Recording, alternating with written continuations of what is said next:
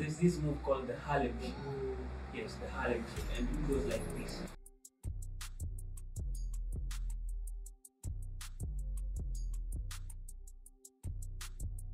So in order to do the Harlem Shake, we just need to understand the shoulder movement. So it's the shoulder that's moving. The arms are just like to complement the move, but the shoulders, uh, the shoulder movement is the most important. The count we are going to use is one ta ta ta and one ta ta ta. Get that into your head. We go five, six, seven, eight. One ta ta ta and one ta ta ta. And this one ta ta ta, the one is your right shoulder goes up like this. One, and you lean towards the right a little bit. So we go one, and then the ta ta ta it's just underneath the shoulders now. We Go ta ta. So five, six, seven, eight. One ta ta ta.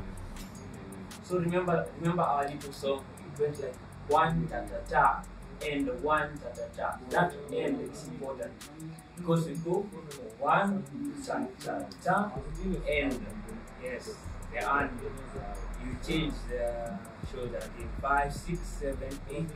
One, ta ta ta, and one, ta ta ta. So we go five, six, seven, eight. One, ta ta ta, and one, ta ta ta. Nice. So uh, your arms, while you're doing one, you go one. Push them to the other side, to the opposite side. So let's do it five, six, seven, eight. One, ta, ta, ta. Nice. Shoulders alone, then we incorporate the arms. So we go five, six, seven, eight. One, ta, ta, ta. Now with the arms, five, six, seven, eight. One, ta, ta, ta. Good. So let's do one ta ta ta and one ta ta. So five, six, seven, eight. One ta ta ta and one ta ta ta and one ta ta ta and one ta ta ta. Yeah. So you don't have to put your, your arms here. You can put them down. You can put them up like one ta ta ta and one ta ta ta. However you want it. So just learn the shoulder movement first, and then the others will come along. Yeah, you don't have to go with my count.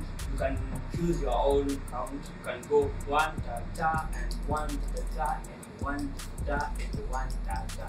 However you want, you can go one ta ta ta, one two ta ta hu, ta ta hu, ta ta hu, ta ta ha.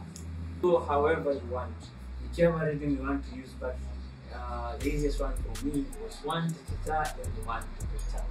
Yeah. One more time and then so one more time, one last time, five, six, seven, eight. We go one ta ta and one ta ta and one and one you for watching that tutorial and uh, remember to like, share, subscribe, comment. Those things are free by the way. So so share the video with your friends and let them learn these dance. Don't be selfish. So